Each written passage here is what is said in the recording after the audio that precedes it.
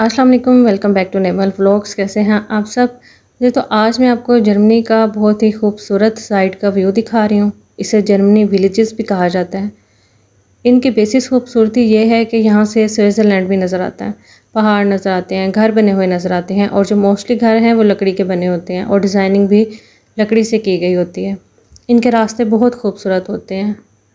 और यहाँ पे ये जितने भी प्यारे प्यारे घर नज़र आ रहे हैं, ये सारे होटल्स हैं। लोग यहाँ पर आते हैं स्टे करते हैं।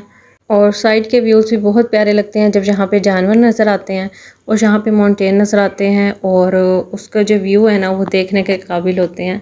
और यहाँ पे एक से दो पहाड़ ऐसे हैं जहाँ पे जाके पूरी ज़मीन हमें नज़र आती है।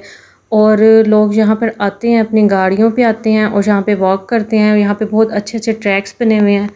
और जब हम पहाड़ के ऊपर जाके नीचे देखते हैं ना तो जो वो सीन है ना, वो हमेशा याद रहने वाला सीन है, वो कभी इंसान नहीं भूल सकता। और मैं इसी तरह आप लोगों के लिए अच्छी अच्छी वीडियोस बनाती रहूँगी। फिर मिलेंगे अपने नेक्स्ट व्लॉग में, अपना ख्याल रखिएगा। अल्लाह हाफिज़।